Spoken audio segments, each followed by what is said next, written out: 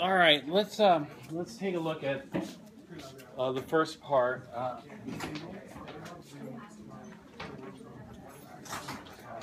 the first part is uh, balancing chemical equations, uh, but we're going to skip the balancing part. We're just going to look at uh, what types of reactions they are, because the balancing should be pretty straightforward, I think. And so when we look at this type of re- reaction here, um, what kind of reaction is that? Do you know? From Chem 4? What type of reaction is that? This would be like a decomposition style reaction. Decomposition where it breaks apart into two different things. But we aren't gonna um, we aren't gonna use decomposition. You know what we're gonna call this? We're gonna call this. This is gonna be a, a well a, a redox reaction. It's a redox reaction because the oxidation states do change. Sulfur is going from plus six here to what is the oxidation state of sulfur here? Plus four. So we're going from plus six to plus four. Oxygen, here, all three of these are minus two. Now we have two at minus two and two at zero. Then we have to balance this, of course, because this is not balanced. Uh, the oxygen. And so this is what we call a redox or redox decomposition reaction. If we go to this one, do you recognize this, this reaction here? What kind of reaction is that? Uh, uh, Well, maybe like hydrolysis type reaction where you're breaking apart water. In a way, yes, because water is reacting, but in a way, no, because in a lot of these hydrolysis reactions, you're just adding, you know, an H or an OH to this. In this case, it's a little different than that. It, would help if these were balanced, probably, but when we're looking at this, in Chem 4, what would you have classified this one as? A combination reaction, but you know, there are different kinds of combination reactions. And so looking at this, let's see, did, is this a redox reaction? Maybe, you know, this was a redox decomposition, maybe this is a redox combination. And so we look at the oxidation states. The oxidation states change in going from one side to the other. And what do you think? Does this look like a redox reaction? Does this look like the oxidation states did change? Well, let's take a look. What is chlorine here? Not, not the two, but plus seven is correct. You see this is minus 14, and so this has got to be plus 14, so each is plus seven. What happened to chlorine here? What's the oxidation state of chlorine over here?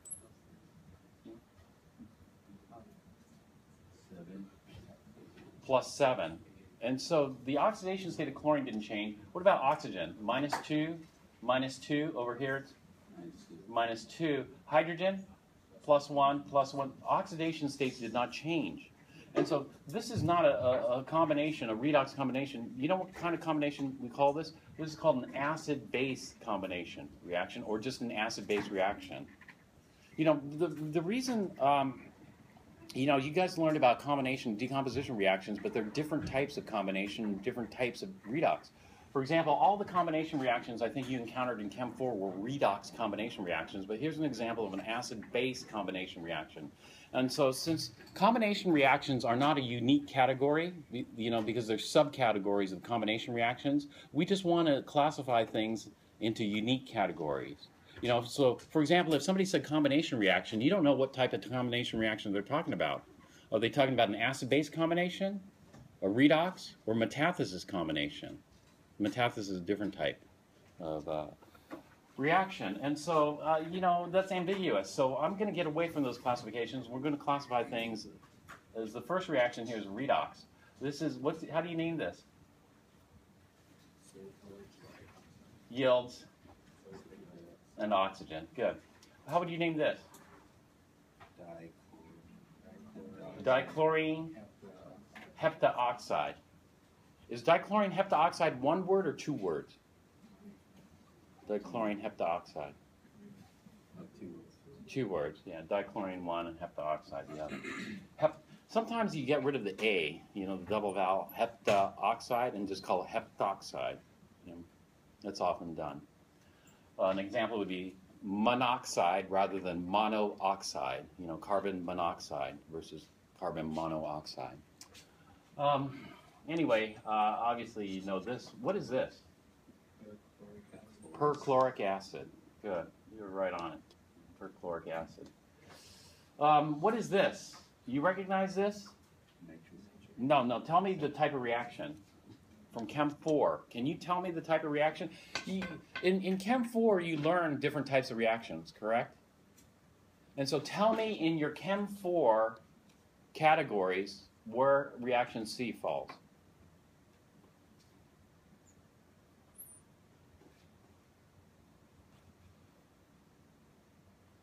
Is that a double replacement reaction? Uh-huh.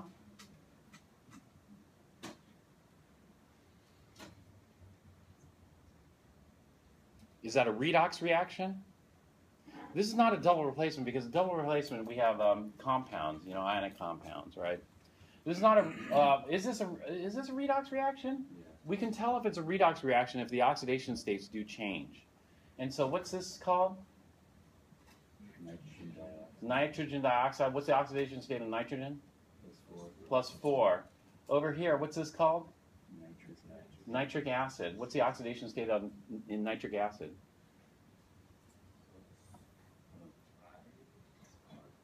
Plus five is correct. And so we're going from plus four to plus five, right? This is a redox reaction. In fact, nitric acid, nitric acid is um, a special acid. We call nitric acid and perchloric acid oxidizing acids. We call them oxidizing acids because perchlorate is a powerful,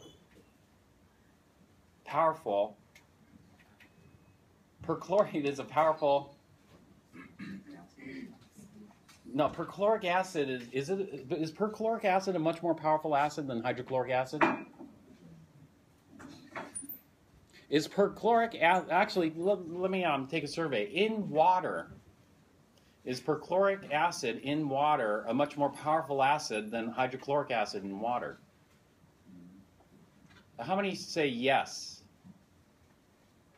How many say no? How many don't know? Don't know. Um, uh, actually, you know what is acid? acid strength is based on H plus. So does perchloric acid have a lot more H plus in water than hydrochloric acid? No, they're in fact perchloric acid and hydrochloric acid are the same strength in water. But perchloric acid turns out to be much more reactive, not because of its acid, properties, but because of its redox properties. You know perchlorate. I hope you know perchlorate by now. You know, I hope you, you memorized a little bit of factual knowledge. Do you memorize a little bit of factual knowledge about perchlorates? Actually, I stopped that video too soon. The, the, the main explosion came after. I, uh, I, I, I paused it.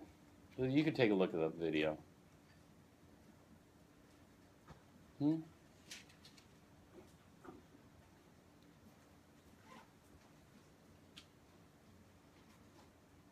You guys remember it? Stanley, you remember it?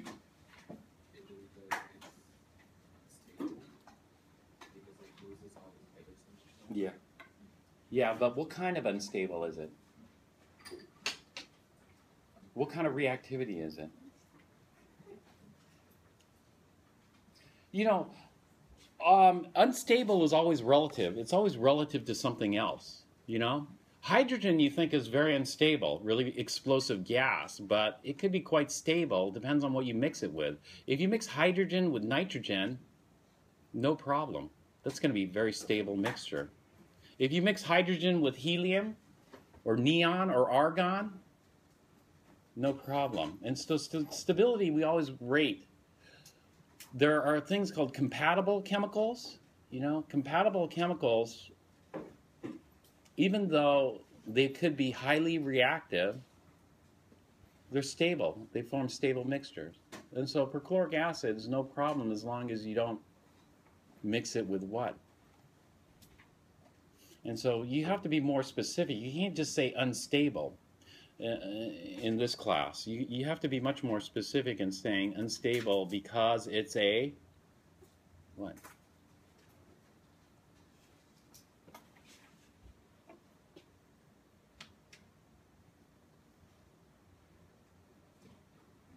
Yeah, I know like a lot of videos and stuff like that, people just tune out because they don't necessarily think any of it is that important. But um,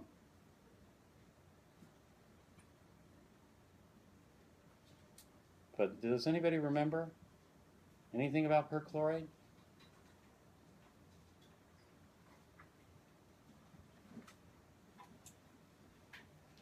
We're doing the two pronged approach. You know, you can't do everything with theory. You have to memorize some stuff. Hopefully, you memorize this. You know, it was just yesterday. The you know, like they say, uh, memory fades quickly. So by the next day, it's maybe it's all gone. Maybe you can recover it before the exam. Maybe not. You know. But somebody's got to know something about perchlorate.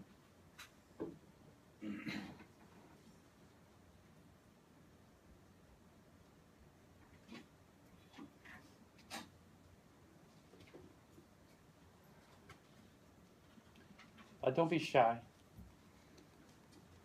We'll try not to. Okay, Stanley. Yeah. It's an oxidizer. It's, it not only is an oxidizer, it's a, in fact, not just a strong, it's a, you saw that explosion. You, it's a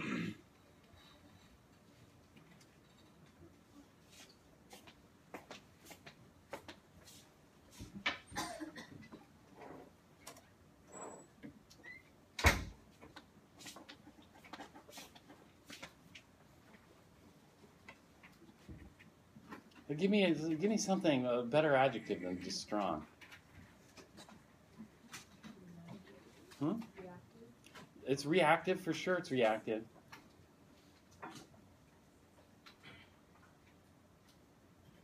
You know, I, I just want something to emphasize because we have different scales of reactivity, right? Sure, it's strong. HCl is a strong acid, no big deal. I spilled, I've spilled HCl all over my hands. Never worried about it. Know? Even though it's a strong acid. Right? Strong electrolytes, I've I've drank you know, I've drank in strong electrolytes. Salts, Gatorade, that kind of stuff, right?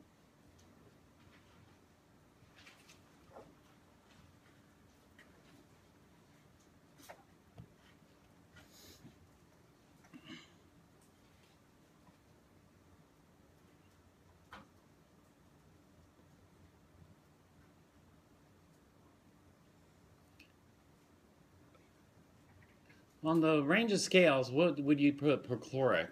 You know, would you just group it with all the other strong oxidizers, or would you say it's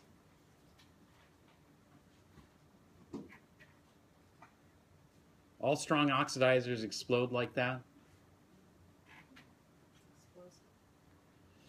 It's explosive. In other words, um, we're trying to come up with a range the range is, you know, chlorine. Number one, chlorine plus seven. Chlorine. Chlorine is usually minus one. In fact, chloride with a minus one charge is extremely stable. Salts like sodium chloride. Chloride fills up the ocean waters, right?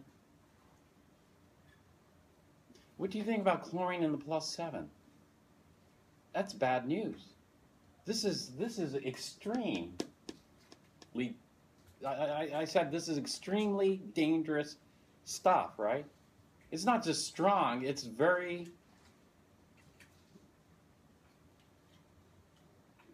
reactive. And so it's a powerful oxidizer.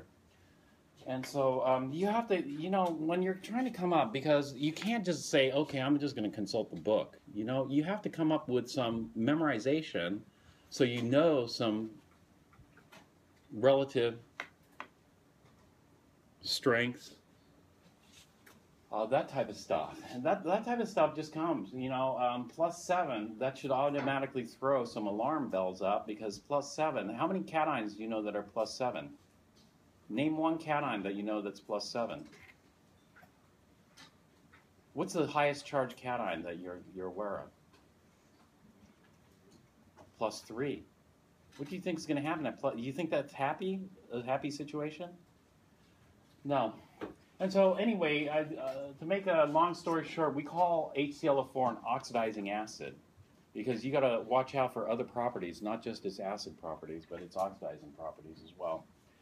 Uh, the same thing with nitric acid. Nitric acid, what do you know about this? Is this just plain old strong acid, or is this a special acid? It's a special acid because of its redox properties. Its redox properties, we call nitric acid a a a powerful oxidizer and a strong acid. You know, when I was a gosh, uh, when I was on um, a student, a graduate student at UCSB, uh, the, they shut down the freeway because there was an acid spill. And some truck was a collision, dumped a whole bunch of acid on the freeway, and the news person there was saying, "Oh, it's a hydrochloric acid spill." But you know, I was looking at it, and it's just fumes. You know, these uh, orange plumes of smoke coming off the off the freeway. Orange plumes of smoke. Are you going to think that's hydrochloric acid? No. What what acid is that? Most likely. It's going to be nitric acid. It's likely a nitric acid spill. So they, they had it wrong. And you treat the two acids totally different. You know, you, you treat them totally different because, you know, HCl, rea- the reactivity of HCl versus the reactivity of, um, of um, eight, uh, nitric acid is totally different. Nitric acid, the brown smoke is NO2, nitrogen dioxide. And the guy in the video is saying, you know, he smelled sulfur type fumes. Well, NOx smells like sulfur type fumes. NOx. NO, NO is colorless. NO is easily oxidized to NO2, which is brown. Both of these are toxic gases. You got to watch out. How about this acid? What is this acid called here? So this is a redox reaction here. The redox uh, oxidation states did change. How about this reaction here? Is this a redox reaction? Phosphoric acid. Yeah, this is phosphoric acid. Now, um, is phosphoric acid an oxidizing acid?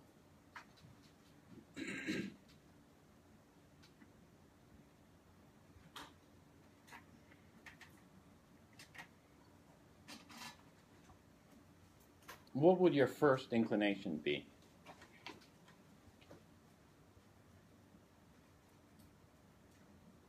Huh.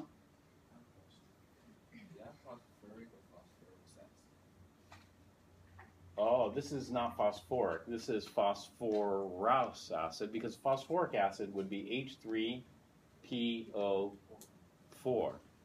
And since we have one less oxygen, we use the rather than the ic, we use the ous ending. Right?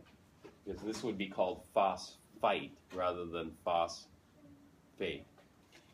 Anyway, eh, how about phosphorous acid? Is that an oxidizing acid? What would you think? Potentially yes or no?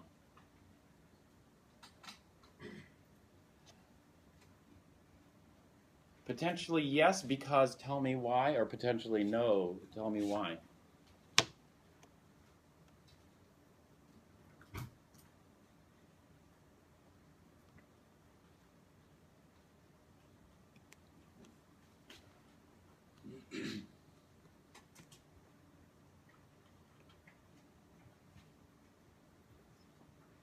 So, what's the first thing you do? You know, I, you know, I- sometimes I ask this question and I get a blank page because nobody knows how to start. But you should know how to start. What's the first thing you do? Right. You look at the oxidation states. So you look at the oxidation states. Now, an oxidizer is it electron poor or electron rich? Four. Electron poor. And so you look, is that going to be an oxidizing acid or not? There's a lot of electrons. It has a lot of electrons. Phosphate, phos, phosphate's minus three. Phosphite is a minus three. That's a lot of electrons. You're right. But do we look at the net charge or, or do we look at the individual charges on the atoms? Individual charges. Have you guys been reviewing this stuff or not yet? You're going to wait until the exam comes up to start reviewing. Exam's coming when? Somebody was, uh, Cecilia, you're asking about the practice. When, when's the exam coming? Two weeks from today? Hmm? Oh. Two weeks from last Tuesday. So, you know, you can wait the weekend, maybe the weekend before the test, start reviewing.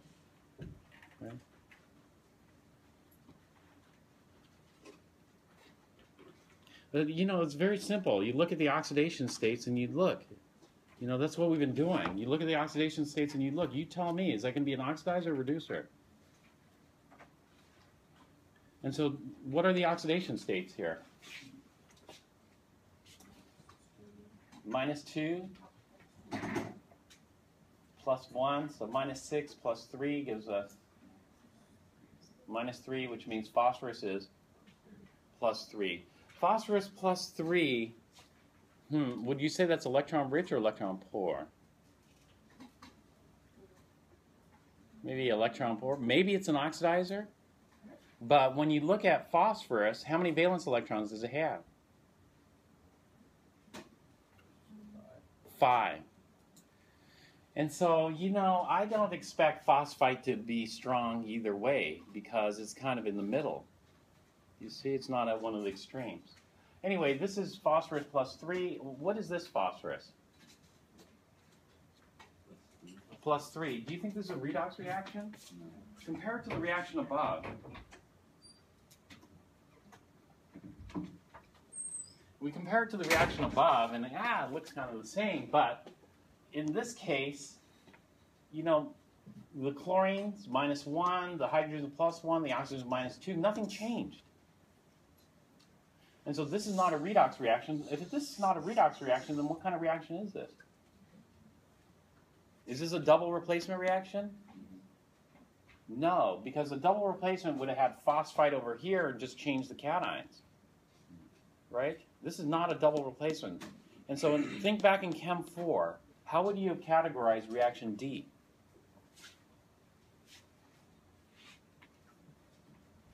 Acid base. This is an acid-base reaction. Um, although you might have difficulty recognizing it. And so this is acid-base. So, so far we had redox, acid-base, redox, acid-base. Let's continue.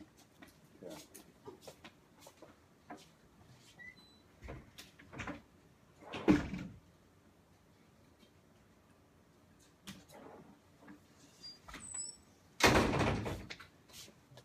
This. Not diphosphate. Diphosphorus.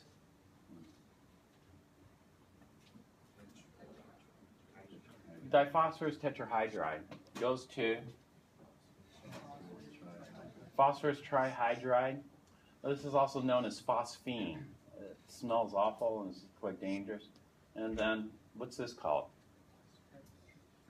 Is this called tetraphosphorus? Hmm? This is just called phosphorus. This is called white phosphorus. Phosphorus has different allotropes. White phosphorus occurs as these four atom cage molecules, which are kind of unstable. Interestingly, to keep white phosphorus stabilized, you, you hold it under water. Otherwise, when you expose white phosphorus to air, it starts to glow, luminesce. What kind of reaction? Well, this is a decomposition reaction. Well, as far as decomposition, what type of decomposition is this?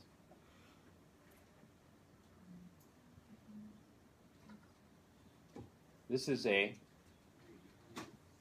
redox reaction. Do you see the phosphorus is going to change oxidation states here? So redox reaction. In fact, you know, I'm going to drop this decomposition combination. We're just going to classify things as redox reactions, acid-base reactions, and essentially double replacement, but double replacement can be tricky to, to identify. So rather than calling them double replacement, I'm going to start calling them metathesis because some double replacement reactions don't follow the same pattern. So, for example, when you make, make a mixed cation salt, you know, is an AB plus CD? No, it's a little bit more complicated because you got mixed cations in there, potassium, sodium, whatever, right? And so um, uh, we aren't going to call it uh, double replacement. We're going to call them metathesis. And so uh, this this next reaction is what? This is white phosphorus plus Chlorine. chlorine. So the two elements, you combine them to form. What's this? Is this a redox, acid base, or metathesis? This is a redox. You see the oxidation states did change. Over here, let's look at this. Um, what's this called? Iron trichloride. No. Or, uh. Yeah, iron 3 chloride. We're going to use uh, the rules for ionic compounds, metal plus non-metal. So iron 3 chloride plus this would be called uh, dihydrogen sulfide according to our uh, normal rules. But dihydrogen, nobody calls it dihydrogen sulfide. You know what everybody calls this? Everybody calls this hydrogen sulfide gas. Hydrogen sulfide gas. This is also an acid, too. What is the name of the acid? This is a hydrogen sulfide gas. The acid name would be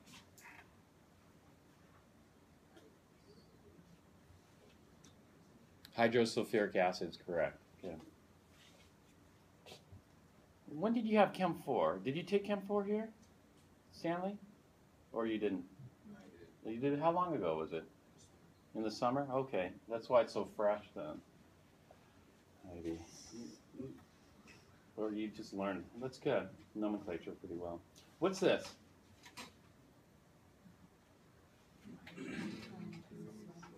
Iron 3 sulfide. And in gas form, this is called hydrogen chloride gas. In aqueous form, this is called hydrochloric acid. And so both of these occur as gases. Hydrogen sulfide is an exceptionally toxic gas. Lethal dose is in the part per billion range, but you can smell it at the part per billion range. The problem with hydrogen sulfide is it's easy to detect because it smells like rotten eggs. In fact, um, rotten eggs do produce some hydrogen sulfide. But the problem is it desensitizes your uh, your nose, and so pretty soon you lose the ability to smell hydrogen sulfide, and so some people actually end up, end up um, dying because they think the hydrogen sulfide's dispersed, but it's still there. They just can't smell it anymore. So, so somebody died in Ventura not so long ago from hydrogen sulfide poisoning. Well, anyway, what kind of reaction is this?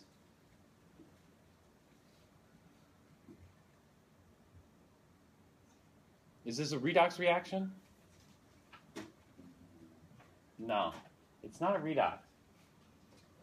In fact, this looks like a double replacement reaction. Double replacement reactions, we're going to give the name metathesis. This is a metathesis reaction or double replacement.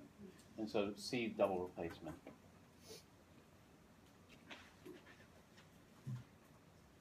Let's go down here to this next one. Here.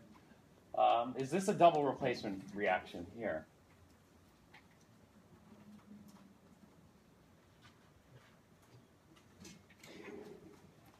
In a way, yes. You know, you could consider this one as a double replacement if you um, think of uh, water as being the hydrogen ion with the hydroxide anion. If water is a hydrogen ion with a hydroxide anion, then the hydroxides just went to magnesium to form magnesium hydroxide. And the hydrogens went to, what's this anion called? What is this compound called? D. Magnesium. Magnesium. Speak up because I can't can't hear you. Yes, it is magnesium nitride. Nitride has what charge?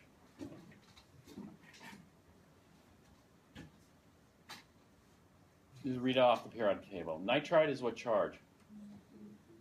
Ne- negative 3. The magnesium plus 2.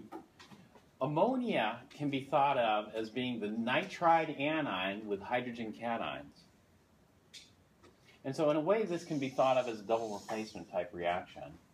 But um, technically, we're going to classify this as a redox or acid base instead. This is acid base reaction here. And so, so far we've gone through eight reactions and we've classified those eight reactions into three categories. Right? The, what are the three categories that we classified those in? Well, acid base, redox, and metathesis. All right, let's continue.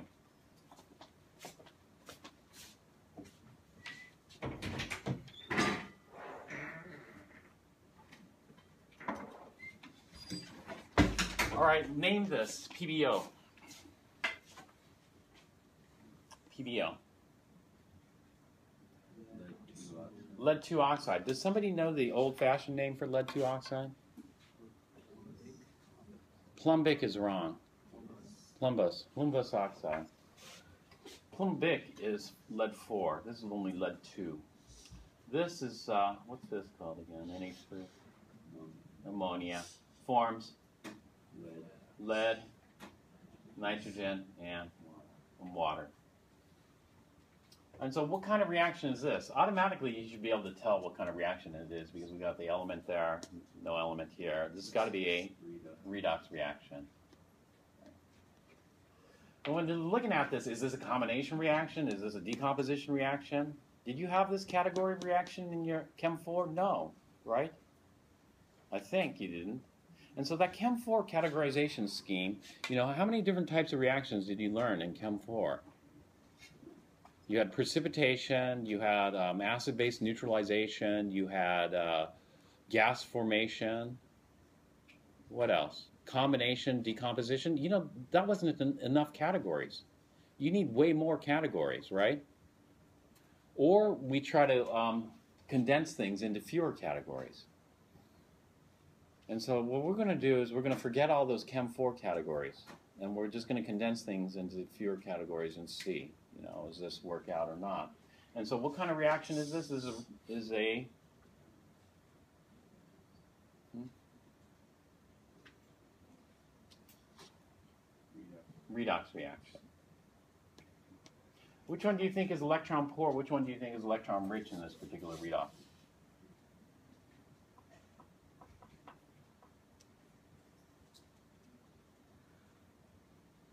Well, um, looking at this, minus 2 plus 2, plus 1 minus 3, 0. So we went from plus 2 to 0. What happened? To go from plus 2 to 0, we must uh, gain electrons. And so this must have been the electron poor species because it took electrons. But, but who did it take electrons from? Nitrogen in ammonia. You know, because plain old nitrogen, plain old nitrogen fills this room, but plain old nitrogen is extremely unreactive. You know, this room consists of about 80% nitrogen. That 80% nitrogen is almost thought of as inert. Why is nitrogen considered almost a, an inert gas? And in fact, it's called a pseudo inert gas. Um, while chlorine is diatomic, and that's not really inert, you know, that's actually quite reactive. It's not because it's diatomic. It's because it's quite stable. It's quite stable. Well, why? It's quite stable because the triple bond. Triple bonds are hard to break. Um, so the triple bond is exceptionally stable and unreactive. And so uh, this is why. And so this is a redox reaction. See, ammonia must be a, you know, look at, if you think about lead 2 oxide, I don't think of lead 2 oxide as being an especially powerful oxidizer, do you? You know, because there's something called lead 4 oxide. Lead 4 oxide would be a much more powerful oxidizer than lead 2 oxide because lead 4 oxide is plus 4 versus lead 2 oxide, which is plus 2. And so this tells me the relative stability of ammonia or the reactivity of ammonia. That means ammonia must be a pretty decent what? Pretty decent reducer. So ammonia is quite reactive, right? Will ammonia burn? Sure, it will burn. It'll form nasty gases like NO and NO2, which are quite toxic.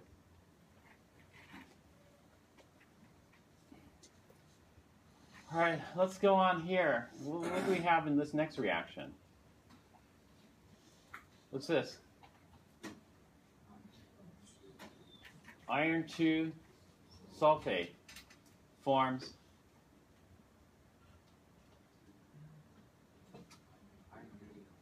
iron 3 oxide. And so we went from iron 2 to iron 3. That means um, it lost, right? To go from plus 2 to plus 3, it lost an electron. Well, who did, who, who did it lose an electron to? Because there's nothing else here. Who did iron 2 lose the electron to? Sulfate. Now, sulfate an oxidizer? Think about that. Sulfate. Is sulfate an oxidizer? And, and if so, why? Why would you think sulfate might be an oxidizer? Might take electrons? Well, what, what's the oxidation state? Well, oxygen is, yeah, minus 2. That means sulfur must be plus. Look at the periodic table and tell me, do you think sulfate's going to be an oxidizer?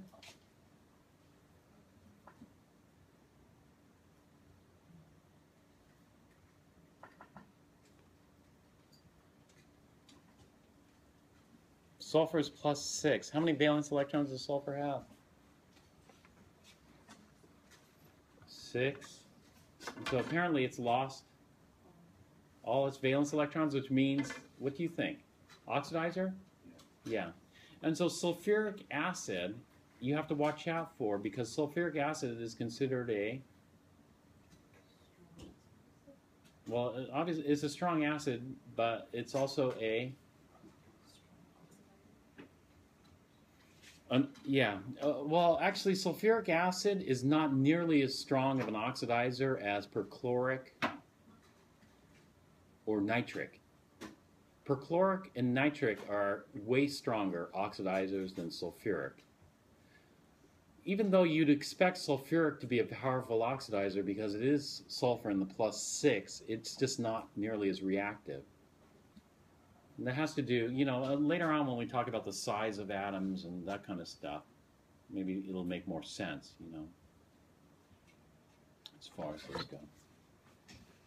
Other factors go.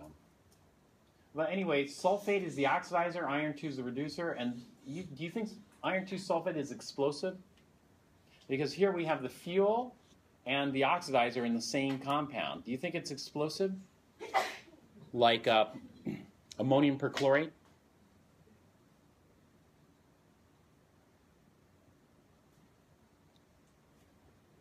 Um, Potentially, I mean, this, potentially this could detonate because it's forming gases. When something forms gases, it generates shock wave, especially if a lot of energy and a lot of gas is produced in a short amount of time. But you know, no, it's I wouldn't expect it because it's not a not an exceptionally powerful oxidizer.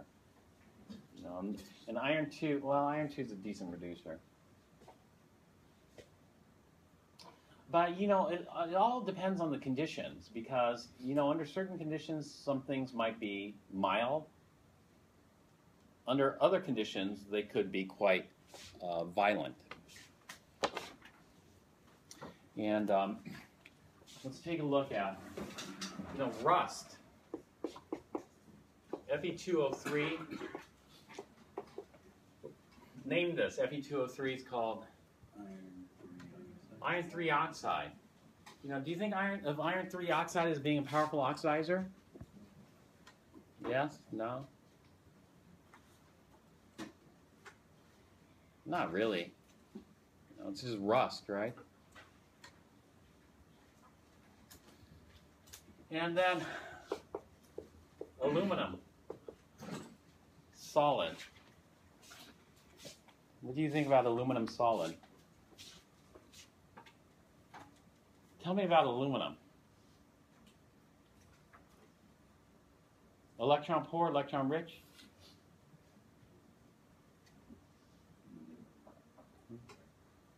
In the middle? Yeah. Well, this, um, this reaction is a very interesting reaction. You know what rust plus aluminum, this reaction has a name? Well, that, it, it's been given to it. A lot of reactions have names associated, but, but this is just a redox reaction. You know, the electron poor species would be what in this combination? The electron poor species would be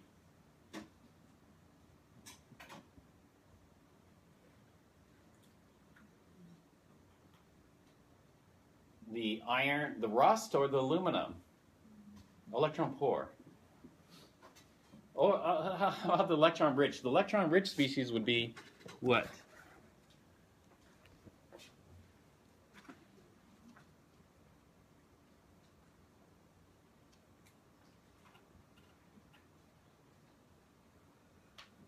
Oh boy, you know, I can guarantee you guys better grades if you um, if you just change your, the way you study. For sure, you can guarantee yourself better grades um, by reviewing sooner before the memory fades. You know. Uh, capture a little bit more of that memory and be able to recall a little more, and then you'll do good.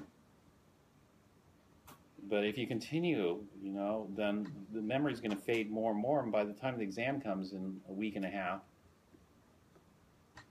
well, it's like starting all over. You know, you got to expose yourself to hours and hours of just to get it back of study. Well, which one is electron-rich species? Uh, I mean, this is just recall. Because I already told you the electron-rich uh, it should be aluminum, right? Metals are electron-rich. And so this is electron-rich species. This, this should be the electron-poor species because of the iron-3. This reaction, this reaction is called the thermite reaction. And um, under certain conditions, the thermite reaction has many uses. Well, one of the uses of the thermite reaction is they use it to weld ship hulls, like big ships, like tanker ships. Why? Because um, turns out quite a bit of energy is released from this. And so let's take a look. If you haven't seen the thermite reaction, then it's worth a look. Here.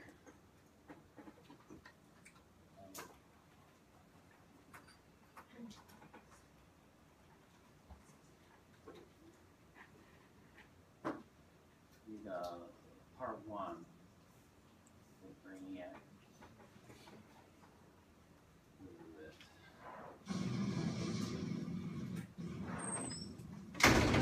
This is thermite. It's a powdered mixture of iron oxide and which when ignited burns at 2,500 degrees Celsius, which is very, very hot. This is liquid nitrogen. It's specially stored at minus 198 degrees Celsius. That's 163 degrees colder than the North Pole in winter. But is it cold enough to neutralize the intense heat of thermite? Packed into the slow release mechanism of a garden flower pot, the thermite is ready for action. Should wear goggles. Just like the touch paper and stand well back.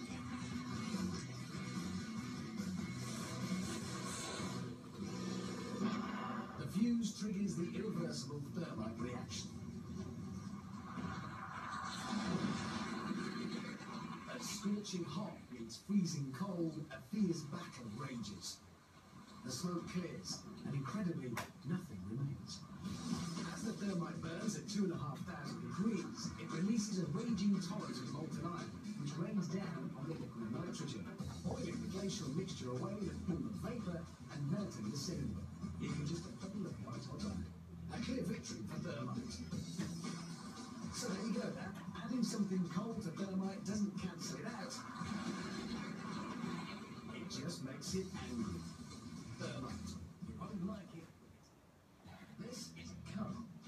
Specially chosen to be destroyed because it's old, it's white, but more importantly, because it's French. The engine block is the densest part of the car. It's basically a huge lump of metal, and well, it's very hard to melt. Lucky then, the Brainiacs have plenty of thermite, specially packed into the slow release mechanism of a garden flower pot. A big pile on the bonnet directly over the engine block should do the trick. To light the fuse and give this homage to French engineering the send-off it so richly deserves.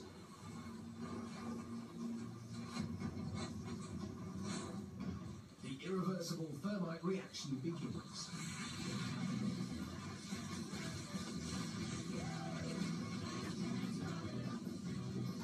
Within seconds, the fiery concoction eats through the bonnet, spraying molten thermite into the engine beneath.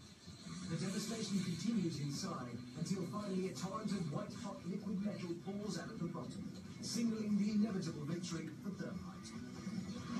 A quick check confirms a clear path of destruction through the engine. Now that the engine is melted clean through, it seems only fitting to have a go at the petrol tank. Packed into the slow release mechanism of a garden fire pot, the thermite is ready for action. Popped onto the roof directly above the fuel tank, the topper, and just four feet of family car stands between the thermite and eight gallons of petrol.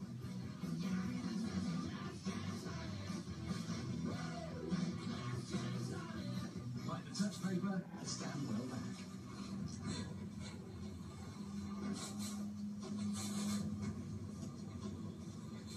The irreversible thermite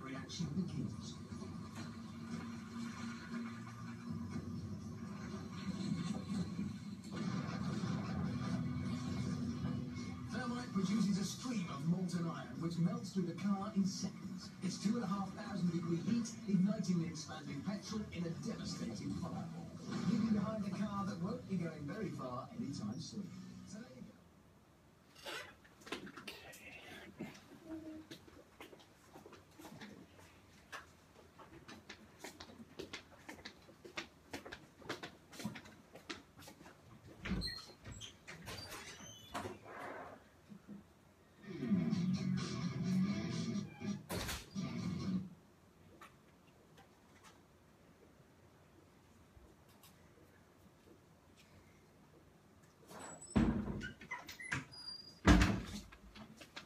So uh, redox reactions, we we're always very careful. This is why you know when you designate an acid an oxidizing acid, we're always very careful because redox reactions can be potentially quite violent in comparison to double replacement. When we're thinking about doing a precipitation reaction or something like that, you know, I, I don't really worry too much about explosions. You might have a lot of gas being generated, you might have some heat, but you don't really worry too much about explosions or even acid base. When you do an acid base neutralization, you know, do you have an explosion shield protecting you from your burette in the titration? You ever think about even even if you take a strong acid like HCl and a strong base like sodium hydroxide and you titrate those, shouldn't you be shouldn't you have an explosion shield? Why or why not? Shouldn't you have an explosion shield? Strong acid, HCl, strong base, sodium hydroxide, explosion shield required. Right? And so when you say, say strong, you got to put it into some kind of perspective because we deal with strong. Like I said, I spill strong acid on my hands all the time. Strong base, sodium hydroxide. You know, yeah, it gets hot, certain things, burns, you know, but I'm not too worried. But you got a strong oxidizer, it's the same thing. No, you treat it totally different. And so this is why we have this, you know, category of uh, oxidizing acids because those are powerful oxidizers and those you got to be careful with. And so why? Uh, I think based on experience, you know, acid-base reactions aren't that big of a deal. Precipitation reactions aren't that big of a deal. I'm not going to put an explosion shield if I'm precipitating out barium sulfate. You know, I told you to add the barium chloride slowly, right? But I didn't tell you there's going to be a potential explosion. You know, as barium ions and sulfate ions come together and precipitate out, right? You do have to be careful, you know, with um, some reactions generating too much heat. For example, when you add acids to water, like if you were to add sulfuric acid to water, a lot of heat's generated. And so that, that's why you always do double A. Have you heard of double A? Always add acids to water because the water will act as a heat sink. Never the other way around. Never add water to acid. If you add water to acid, then the water that, you add can superheat and cause splattering, and so you get a steam explosion.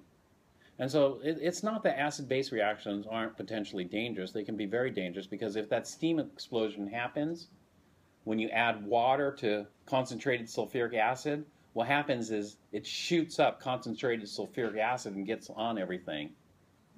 And if you've ever seen concentrate, concentrated sulfuric acid will cause third degree burns on your skin, basically. And one person did get a small third degree burn here in Chem 1B one time. And so, uh, yeah, you don't. It's not to say that they aren't potentially dangerous, but are you going to worry about a thermite-sized reaction when you when you do that? You know, if so, you got to hold hold it with some kind of robotic arms, right? Do it with an explosion shield. And so the question is, is you know, do you do you have a, a, an idea why redox reactions can be potentially so much more energetic and so much more violent than acid base or double replacement, i.e., metathesis reactions? And so think about that, and we're going to um, take a break and start up.